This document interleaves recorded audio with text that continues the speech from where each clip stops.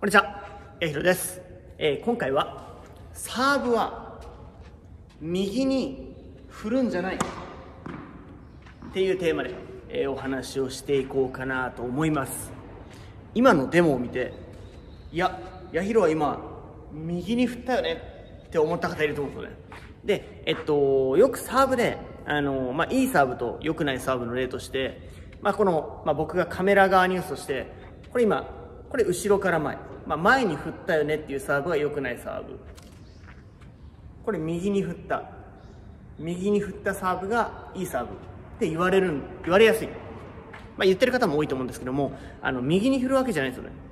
これは、えっと、どういうことかっていうと確かに後ろから見た時に右に振ったように見えるけど僕の中では右に振ってる意識はありません。これはどの選手もおそらく当てはまるんじゃないかなと思います。要は右に振るぞっていう意識を持ってボールを前に飛ばすぞみたいなそんな意識は持ってないんですよ。じゃあどういう意識を持っているのか、えーここが分かると、うん、今までこう右に振らないといけないっていうこう固定概念があった方はもっとサーブが安定するんじゃないかなと思います。えっと右に振った気はないんだけど右に振るために。どうするか。これですねどうするかというと上に振るんですよ。上。上っていうのはどういうことかというと例えばじゃあこっちにそして最初皆さん近くでやってほしいんですけどもサーブっていうのは基本的に構え構えの状態からテイクバック完了1振り出しが2打球してプロネーション3打ち終わりっていう流れがあるとして123 4っていうのがあるとしてここでやってほしいのは2番から。この腕とラケットでカタカナのこの字みたいな。このこの字から上に向かってボールを打ち上げてほしいですでこの時にどういう意識かっていうとあっちにあっちに打ちたいのでそっちに向いたラケットが下から上にスライドさせるとスライドさせるとこうこの打ちたい方向に対して上に振り上げた。そうするとあっち行きますよ。で、えっと、今の当たりが薄いとネット越えなかった。じゃあどうするかというとあちらに向けた状態あっちに向けた状態で少し上向けます。じゃあ仮にじゃあ分かりやすく45度ぐらい上向いてるとしたら45度上向きの面でこの左右ですね。左右が向こうに向いてればこれでボールがあっち行くんですよ。下から上。下から上。これを頭の上側後ろ側でやるとこれじゃあ仮に45度ぐらい面が上向いてます。その状態で下から上。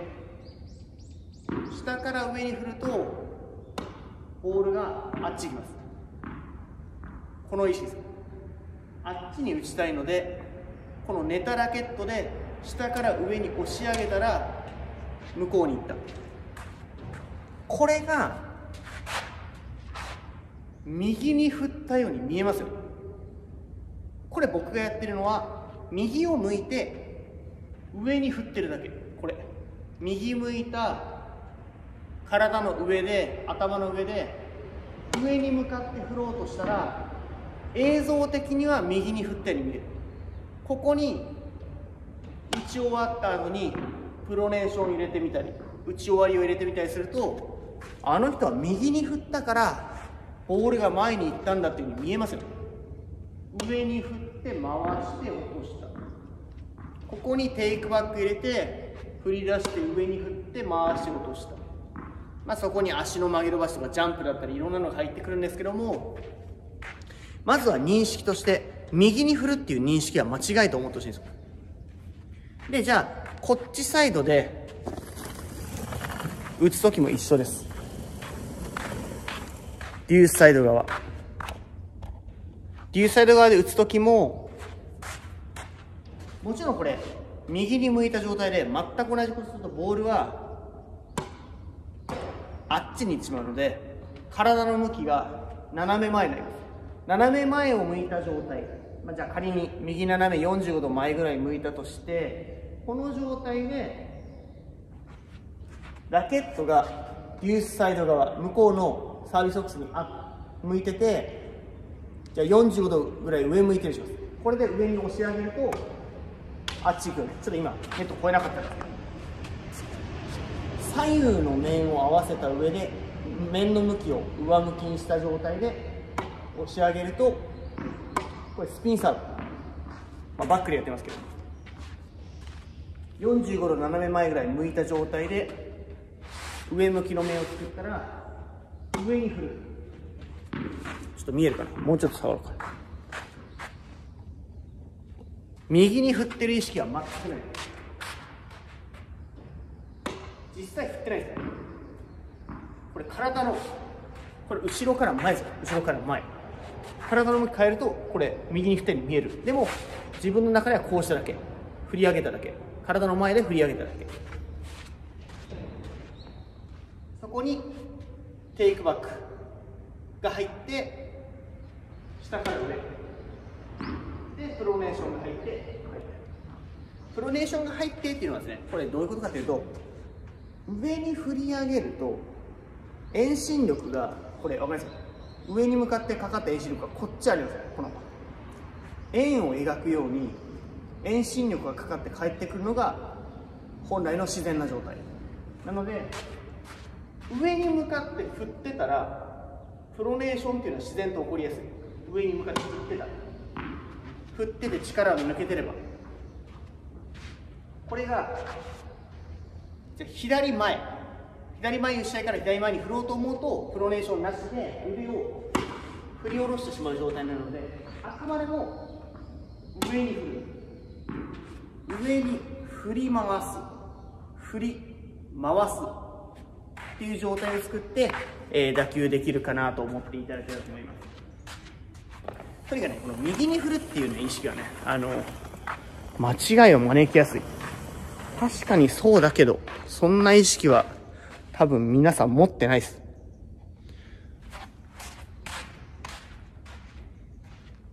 テイクバック完了から右斜め前に向かって上に振ります。上に振った。上に振り回した。っていう状態。この感覚が分かればあの狙うのも簡単なはず。あのカメラの方に僕が打つとして右に振ってそっち飛ばそうかなってなったら難しい。そんな狙い方は不安でできないのであくまでもこの地面に対して寝たラケットを下から上に上げる。と思えばこれまっすぐカメラ側に行きますよ。ねそれをここでやってるんだなと思えればあのうまく打てる方が増えるはずです。そんな感じで、えー、今回はサーブは右に振るわけじゃないっていうテーマで、えー、お話をしていきました。えー、まあ、ぜひあのサーブね、悩んでる方多いので、えー、安心して、あの、しっかり振り切ったサーブを打てるように、えー、一緒に頑張っていきましょう。えー、そんな感じで、えー、僕のチャンネルは8時台にもできる楽で美しいテニスということで、えー、長くテニスをしたい方に、えー、向けた発信をしていますので、えー、ぜひチャンネル登録もお願いします。じゃあそんな感じで終わります。ありがとうございました。あなたのテニスがより早く効率よくレベルアップできるようにと思い、えー、オンラインレッスンを立ち上げました。えー、今ですね、毎月、えっ、ー、と、いろんな県から、え、福岡の方にレッスンに来ていただいている方が、え、たくさんいます。で、えっ、と、そういう方はですね、どうしても、あの、予定を組んで、福岡まで来て、え、レッスンをしてっていう、あの、時間とお金がすごくかかるんですよね。なんで、そういう方を救えたらと思って、えー、始めました。今、えっと、全国にはあのたくさんあの悩んでる方がいます。テニスもっと早く上達できないかな、今自分はどういう状態なのかなっていう方たくさんいるんで、えー、そういう方を救いたいと思って、えー、作ったので、気になる方は、うん、詳細はですね、えっと、概要欄に載せてるので、えー、ぜひ見ていただければと思います。ざっくり言うと、えっと、フォアハンドならフォアハンド、バックハンドならバックハンド、まあ、サーブならサーブ、なんでもいいですけど、えっと、一つのショットを僕に動画で送っていただいて、えっと、課題を伝えます。で、課題を伝えて改善するためには、あの、どうしたらいいのか、練習方法などでも、えー、お伝えしていこうと思っているので、まあそういう形を、えー、とっています。本気で上手くなりたい。もう自分は、あの、これ以上レベルアップできないかなとか、自分一人でどうやったらレベルアップすればいいんだっていうのが、えー、わかんない方たくさんいると思うんで、えっ、ー、と、そういう方を救えればと思います。はい。そんな感じで、えー、気になる方は、えー、僕にご連絡ください。以上です。ありがとうございました。